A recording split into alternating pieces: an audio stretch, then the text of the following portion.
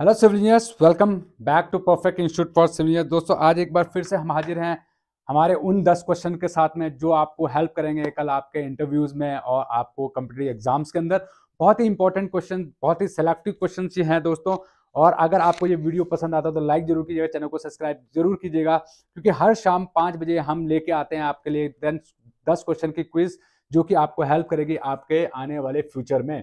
तो दोस्तों, बिना किसी देर के चलते हैं अपने क्वेश्चंस के ऊपर। और कौन से वो दस इंपॉर्टेंट क्वेश्चन हैं जो कि कल आपको हेल्प करने वाले हैं, उनकी ओर बढ़ते हैं डेफिनेटली ये क्वेश्चंस आपको बहुत पसंद आएँगे। आपने पढ़ा होगा दोस्तों कॉलेज टाइम पे। और अगर आपको सही लगते हैं, अच्छे लगते हैं तो इसको आंसर ज़रूर लिखिएगा। दोस्तों, बिना किसी देर के चलते हैं अपने दस क्वेश्चन के ऊपर। दोस्तों खेल खेल में करो कंपटीशन की तैयारी। The first question is the graduation the graduation on the vertical axis of the theodolite are graduation of a vertical axis on a theodolite are vertical किसको कहते हैं दोस्तों? ज़ीरो टू नाइनटी डिग्री होता है। Zero to ninety degree on clockwise direction और and anti clock wise direction या zero to thirty three sixty degree in a clockwise direction या all the above क्या है इसका एजुएशन दोस्तों graduation on a vertical axis on a theodolite are किसको कहा जाता है दोस्तों? All of the all are called vertical axis theodolite, graduation of a vertical axis, while making measurement with the technometric survey. The correction will be tacheometric survey आपने पढ़ा होगा this is the instrument which use for surveying purpose उसमें correction will be what temperature की वजह से slope की वजह से टेंशन की वजह से, या नन ऑफ़ दीज क्या है इसका राइट आंसर दोस्तों? While making measurement with tacheometric survey correction will be of none of these इनमें से कोई भी दोस्तों, इनमें से ये सब के सब क्या है दोस्तों? ये इफ़ेक्टिव हैं, जो कि उसकी सर्वेइंग को खराब कर सकते हैं या उसके जो है एरर्स उत्पन्न करते हैं। दिस नॉट करेक्शन के ये कंपोनेंट्स नहीं है। The main difference between optical and prismatic compass आपने पढ़ा होगा दोस्तों ऑप्टिकल कंपास और प्रिज्म कंपास इनमें डिफरेंस क्या होता है? The principle in work none of, no adjustment will be required in a prism square since the angle between the reflecting surface cannot be changed. या दोस्तों optical square is more accurate than prism square या all of the above which one is the major difference between optical and prism square में दोस्तों right answer is no adjustment will require in a prism square prism जो हमारा जो prism होता है दोस्तों, उसके अंदर since the angle between reflecting surface cannot be change उसमें जो है दोस्तों angle between the reflecting surface cannot be change ठीक है दोस्तों? Next question building is an obstacle building किस टाइप के सर्वे में ऑब्स्टेकल हो सकती है? विरोध हो सकती है। Chaining but not in ranging ranging but not in chaining ठीक है दोस्तों? नॉट चेंजिंग नॉट रेंजिंग या neither in chaining nor in are ranging ठीक है दोस्तों? क्या आंसर होगा दोस्तों? Not chaining and not in ranging ठीक है दोस्तों? मतलब ये दोनों कहने का मतलब क्या है दोस्तों? Neither in chaining not in ranging ये इसका राइट right आंसर है। ठीक है दोस्तों? ऑब्स्टेकल कहाँ पर नहीं हो सकता? The maximum tolerance in a 20 metre chain the maximum tolerance in a 20 metre chain tolerance means जो उसकी आ, कह सकते हैं ना कि जो हमारी लिमिट होती है जिसको हम बी, क्या कह सकते हैं?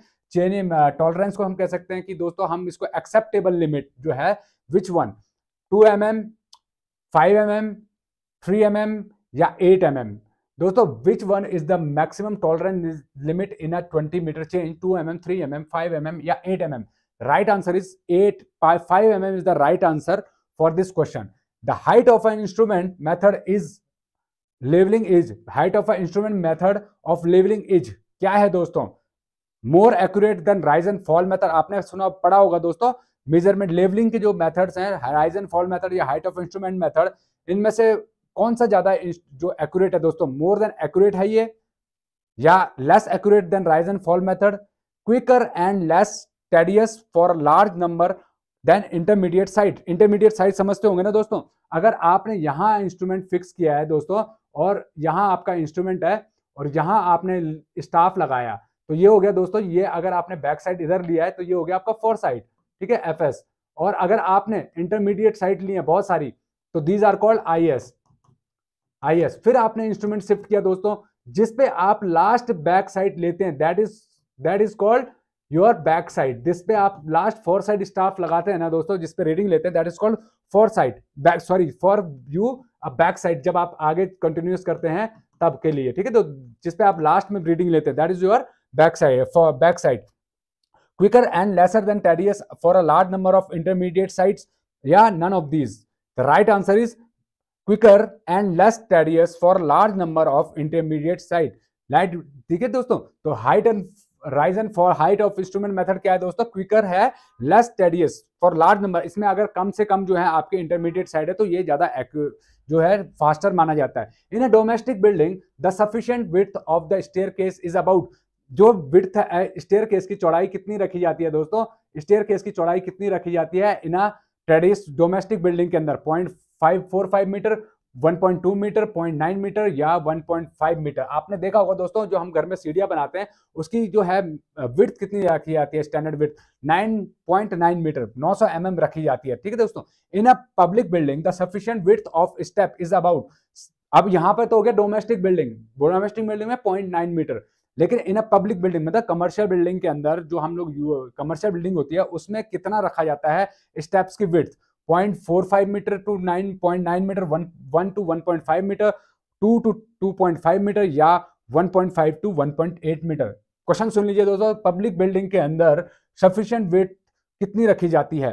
तो right answer is 1.5 to 1.8 metre क्योंकि दोस्तों, क्या होता है, जब कमर्शियल बिल्डिंग में जब कभी भी जो हमारा जो स्टेयर केस होता है दोस्तों, इसमें क्या होता है? हमारा जो स्टेयर केस है स्टेप जो हमारे होते हैं तो अगर आप की इसकी विथ अगर प्रॉपर ना हो दोस्तों तो क्या होगा कि जब नंबर ऑफ़ पर्सन जो है मूव करेंगे एक साथ में, चार पाँच लोग जब एक साथ में मूव करेंगे तो उनमें जो है चोट लगने का, गिरने का डर हो सकता है। तो इसलिए दोस्तों, क्या होता है? 1.5 टू 1.8 मीटर उसकी विड्थ रखी जाती है। जबकि घर में जो है दो चार लोग ही होते हैं तो इतना emergency in case of emergency 0.9 metre is sufficient ठीक है दोस्तों?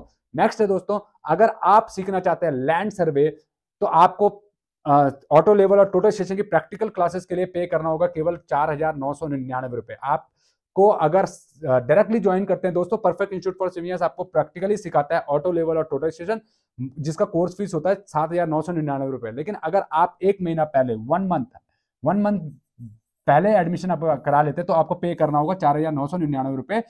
जिसमें कि हमारा दो पार्ट में आप इसको ब्रेक करते हैं दोस्तों। First one is fourteen hundred ninety nine rupees this is registration fees and आपका जो balance three five zero zero बचता है दोस्तों, ये आपको कब पे करना होगा? पैंतीस सौ रुपए तब पे करना होगा जब आप एडमिशन लेते हैं। तो course fee before one month is four thousand nine hundred ninety nine rupees only next है दोस्तों, अगर आप सीखना चाहते हैं क्वांटिटी सर्वे इंडिया और गल्फ के पैटर्न के हिसाब से तो you have to you can learn in our live thirty days online classes के अंदर only in three six hundred ninety nine rupees जिसमें कि ऑटो कैड और एक्सेल भी आपको सिखाया जाता है। तो थर्टी डेज़ के लाइव क्लासेस अगर आप एक वर्किंग प्रोफेशनल हैं, आप अगर आप फ्रेशर हैं कॉलेज गोइंग हैं तो आप इस कोर्स को घर पे बैठ के ही सीख सकते हैं अपनी स्टडी और जॉब को कंटिन्यू करते हुए। ठीक है दोस्तों next question for today is normally the riser of a step would be should भी कितना होना चाहिए? राइजर की हाइट कितनी होनी चाहिए? आपको पता होगा दोस्तों, ये स्टेयर केस होता है। इसमें जो वर्टिकल हाइट ये वर्टिकल जो कहा जाता है, इसको this is called riser and this is called tread ये ट्रेड है और ये आपका राइजर है। तो राइजर की हाइट कितनी रखी जाती है दोस्तों? जनरली कितनी रखी जाती है दोस्तों? Ten to fifteen centimetre five to ten centimetre या ट्वेंटी टू थर्टी सेंटीमीटर या twenty five to thirty centimetre मतलब अगर इसकी हम बात करें तो hundred centimetre to one cent one fifty centimetre या M M sorry one fifty M M to hundred to three hundred M M या five to ten M M five M M to ten hundred hundred M M या twenty five to to fifty to thirty centimetre किस, क्या रखी जाती है? Right answer is for this is ten centimetre to 15 centimetre because अगर आपके riser की height ज़्यादा होगी दोस्तों तो क्या होगा? आपको चलने में प्रॉब्लम हो सकती है। तो इसके लिए हम क्या करते हैं दोस्तों? हम लोग 10 टू 15 सेंटीमीटर रखते हैं which is comfortable to rise to climb the staircase ठीक है दोस्तों? चढ़ने में आसानी हो। डॉग लेग्ड स्टेयर केस आपने पढ़ा होगा डॉग लेग स्टेयर केस इन अपने कॉलेज के अंदर हाफ़ टर्न स्टेयर केस को कहा जाता है क्वार्टर टर्न स्टेयर केस को कहा जाता है one third three quarter turn staircase या कंटिन्यूस स्टेयर केस किसको कहा जाता है दोस्तों? Dog leg staircase the right answer is for half turn staircase क्योंकि दोस्तों, आपने देखा होगा, ये हमारा स्टेयर केस होता है। ये अगर हमारी स्टेप्स हैं, ये हमारे लैंडिंग है दोस्तों यहाँ पर तो क्या होगा? ये जो है दोस्तों this is called dog leg staircase. ठीक है दोस्तों, half turn staircase is called dog leg staircase. तो दोस्तों, उम्मीद करते हैं ये वीडियो आपको पसंद आया होगा। अगर आप घर बैठ के सीखना चाहते हैं लैंड सर्वे क्वांटिटी सर्वे या दोस्तों अदर जो हमारे शॉर्ट टर्म कोर्सेज हैं तो दोस्तों आप परफेक्ट इंस्टीट्यूट फॉर सिविल से बहुत ही कम कोर्स फ़ीस के अंदर ऑफलाइन या ऑनलाइन मोड के अंदर सीख सकते हैं इन सिविल इंजीनियरिंग स्किल्स को। और ये वीडियो पसंद आया लाइक ज़रूर कीजिए, चैनल को सब्सक्राइब करना ना भूलिए, ताकि आपको ऐसे ही नॉलेजेबल और स्किलफुल वीडियोज़ हम लाते रहें। तो जय हिंद जय भारत। फिर मिलेंगे कल शाम पाँच बजे।